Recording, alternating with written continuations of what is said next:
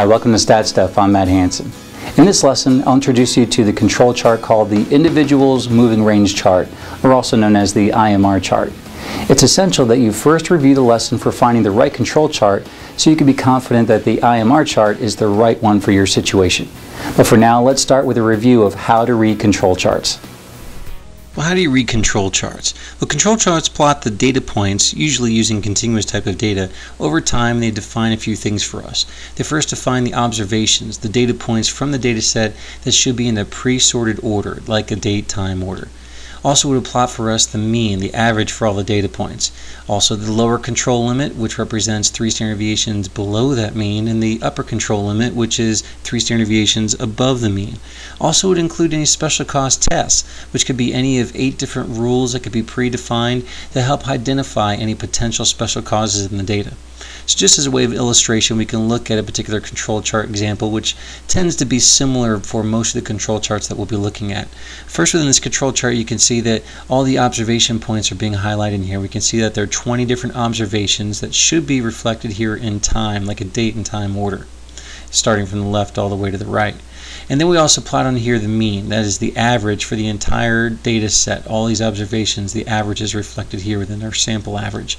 Then we've got an upper control limit, which is three standard deviations above the mean, and then we've got a lower control limit reflected as three standard deviations below the mean. Then we have over here this region that falls within the red lines. This is the expected variation region, where that's where we would expect there to be some common cause variation falling back and forth around the mean, hopefully not falling outside of these upper and lower control limits, which is our unexpected variation region. That's where we might see some obvious special causes when they fall outside of our upper and lower control limits that are defined here by the red lines. And we also see in this example, there's one data point that falls below into that area. So we can say for this observation number 7, it failed the test because the data point fell outside the lower or upper control limit area. Now, one thing to keep in mind, it's really important, is that control limits that are used in here in charts like this are not the same thing as spec limits, which is the LSL or US, or USL. The spec limits are usually going to be tied to the voice of the customer, what the customer wants, the requirements that they set. Those are the targets. That's what the spec limits refer to. Control limits, though, are just reflecting how the process is performing of whether it's in control based off of the variation in, relevant, in relationship to the mean. So it's based off of three standard deviations from the mean.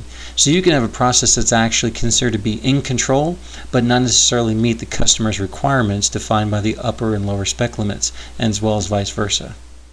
All right, now let's more specifically dive into defining the IMR chart. Well, the IMR chart is actually a combination of two different charts that are used together. First, the I refers to the individual data points that are being plotted, and the MR refers to the moving range of those individual data points. That is, the absolute distance between each successive data point. So just as in the individuals chart, the moving range is going to display for us the lower control limit and upper control limits and apply the same types of special cause tests for us. So here's an example of how Minitab will calculate the moving range for us. So here we might have the actual raw data point in the left-hand column where we might have a 2, 5, 3, and so on. So what it does is it takes the distance between the 2 and the 5, and that difference is 3. Then it takes the 5 and the 3, and the distance of that is 2. Then 3 and 1, and the distance of that is 2, and so on for all of these, just to calculate for us the absolute difference between each of these data points in succession. So what are the requirements for the chart itself? Well, the plotted data that we're using should be continuous data, as they should be using numerical values. And there shouldn't be any rational subgrouping in the data. That is, there shouldn't be any subgroups that already exist in it. So for accessing it within Minitab, this is where you go to the Stat menu, select Control Charts, then Variable Charts for Individuals, then choose IMR. Now let's look at an example of the IMR chart. Well, here's an example of what the IMR chart might look like when you output some data in it. And here you might see the distance between here. Here's a data point that falls really low, and there's another one that falls above the mean. Well, the distance between these data points seem pretty extreme. The distance that's reflected here is the distance that's reflected within the moving range portion. So this value up here is so high because the distance between these two is so long. So that's what we mean when we say it's tracking the moving range. Now the fact that this happens to be a failed data point does not necessarily mean this is always going to be a failed data point as well. We could have had this data point fall just above the lower control limit and this one be even higher and still have a long distance between them and it would still fail down here because it would have been beyond the three standard deviations above the mean for the moving range area. So again, just because you have a failed point in the individuals doesn't necessarily mean you're going to have a failed point down in the moving range and vice versa between the two of them. Another thing to observe here is because we're dealing with moving range, you're not going to have a data point for the first observation point. So because of that, it's always going to be blank here. So that's normal to see that. As well, it's normal to see the lower control limit that's always going to be zero. It has to be zero because what's tracking in the moving range are the absolute values, and absolute values will always be reflected as a positive value. So that's why the lowest lower control limit that could be reflected here is zero. However, that's not to say that the average would not be something different and it's still going to measure the upper control limit at three standard deviations above the, the sample moving range that's being used, moving range average that is.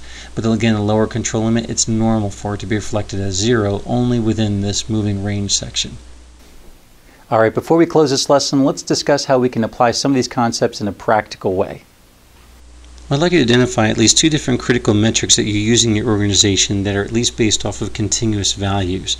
And try to acquire some sorted historical data for each of those metrics that would include at least 20 different data points and try running them through the IMR chart. Again, it's essential that you at least sort them through a date or time stamp so that way the oldest represent, is represented first all the way down to the most current and then ask yourself the following questions for each of those metrics. For the individuals chart, the upper portion of the IMNR chart, was there any data point that failed the first test, that is where it's falling outside of the lower or upper control limits? If so, then can you explain what caused that failure? And does it appear to be a special or maybe a common cause variation? And then for the moving range chart, which is the lower portion of the IMNR chart, was there any data point that was failing that first test? And if so, what would be the cause for that failure? Does it appear to be something that's also a special cause or maybe a, a, common cause type of variation? Now, if there were any failures that were noted, then what would be the actions that you should take in order to fix those errors and help prevent future failures from occurring? Well, that wraps up this lesson. Check out statstuff.com for many more resources that can help you achieve powerful results. I'm Matt Hansen. Thanks for watching.